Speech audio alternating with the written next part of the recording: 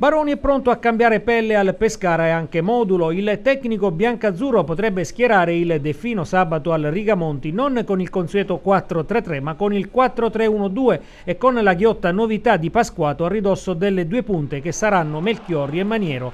Il Pescara potrebbe dunque scendere in campo in terra lombarda con il rombo, uno tra Memusciai e Pelpire avrà le chiavi del centrocampo con Selasi e Bjarnason sulle fasce.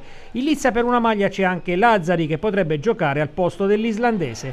In difesa scelte obbligate con Grillo e Zampano sulle fasce e Zuparic e uno fra Salamon e Ciosic al centro. Ai box tanti infortunati Bunozza, Venuti, Pesoli, Fiorillo, Brugman, Milicevic e Caprari. I biancazzurri partiranno nel pomeriggio per la Lombardia con un giorno di anticipo sul previsto. Che parliamo sempre in maniera individuale, non è che per me, non è una, non è una situazione facile per la squadra, perché qui non si parla dell'allenatore o della squadra, qui siamo un corpo unico, non ho timori né niente, io voglio preparare con la mia squadra, stiamo lavorando per cercare di...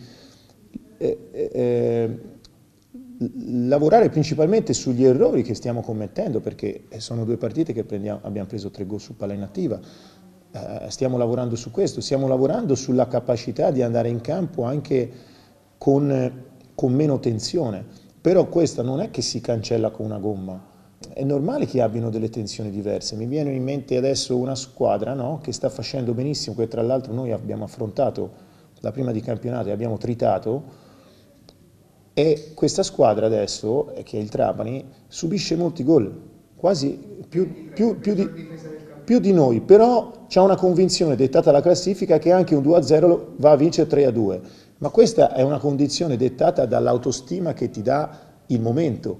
Per noi non prendere gol è fondamentale, perché questo è un campionato che quando va in vantaggio, e basta vedere noi, le volte che siamo andati in vantaggio, abbiamo portato punti a casa. Ci vuole una squadra che vada in campo con, con convinzione, è chiaro che non si può cancellare tante cose, quindi, ma cercando di andare intanto a migliorare sia il suo atteggiamento, che comunque ci siamo, e forse ecco, ripartire anche proprio dagli ultimi 15 minuti, perché stati, è stato anche il momento in cui sono rientrati alcuni giocatori per noi importanti e, e io mi aspetto molto da questi giocatori.